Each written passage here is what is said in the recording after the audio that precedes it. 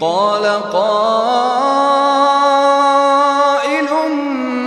منهم لا تقتلوا يوسف وألقوه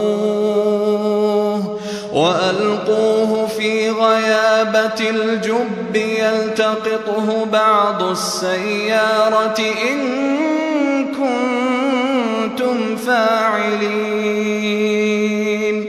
قالوا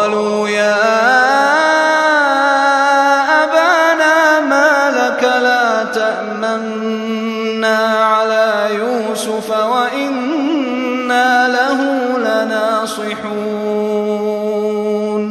أرسله معنا غدا يرتع ويلعب وإنا له لحافظون قال إني ليحزنني تذهبوا به وأخاف أن يأكله الذئب وأنتم عنه غافلون.